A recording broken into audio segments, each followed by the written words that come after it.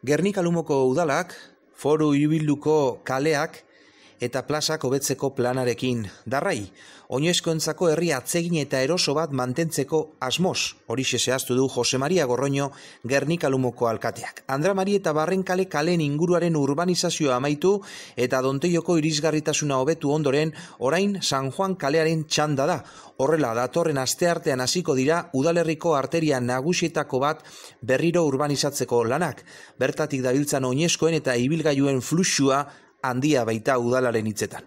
Zehazki 2000 eta larogeta bi metro kuadroko azalera duen 8 denero eta donteio kalen arteko tarteari ekingo dio jarduketak. 8 denero kaletik San Juan Ibarra plazaranzko bide gurutzean errodadura eremua goratuko da. Espaloiaren mailan kokatu arte eta amaitzeko asfalto imprimatu bat egingo da kaltzadarrizko soladura imitatuz. Horrela, pasabide hori oinoezkoentzako lehentasunezko gune bilakatuko da eta gainera ibilbidearen desnibelak ezabatuko dira. Merkatuaren eta San Juan Ibarra plazaren arteko irisgarritasun baldintzako betuz eta Fernando Abauntza, Elbira Iturri eta Domingo Bernaola kalekin multzoa sortuz. Hori Jose Mari Gorroño Gernika Lumoko alkateak esandakoa. Era berean bide gurutze horretan bertan espaloien zabalera kaldatu ingo dira oinezkoentzako pasabideak dauden eremuetan. Baita biratzeko erradioak ere, autobusak errezago igaro daitezen.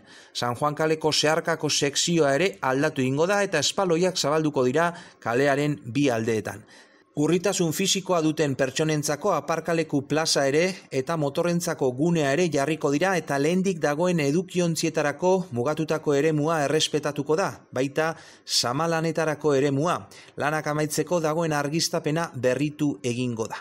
Jarduera, Honen, aurrekontua berreunda larogeta bi mila, bosteunda hogeta bost, koma hogeta mairu eurokoa izango da, eta hiru hilabeteko epea izango da lanak burutzeko.